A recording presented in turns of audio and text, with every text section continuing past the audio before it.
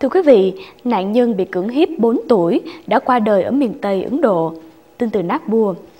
Một cô bé gái 4 tuổi đã qua đời vì suy tim ở thành phố Nagpur, miền Tây Ấn Độ. Gần 2 tuần sau khi bị hai người đàn ông dụ em bằng một thanh kẹo sô-cô-la, rồi cưỡng hiếp và bỏ em nằm chảy máu bên ngoài một trang trại tại Madhya Pradesh. Nạn nhân trong tình trạng hôn mê kể từ khi được chở bằng phi cơ tới bệnh viện vào ngày 20 tháng 4. Em bị chấn thương não nặng và được thở bằng máy. Các bác sĩ cho biết bé gái đã qua đời sau khi tất cả các nỗ lực cứu sống em thất bại. Cô bé bị bắt cóc ở nhà ở quận Sony, tỉnh Madhya Pradesh vào ngày 17 tháng 4.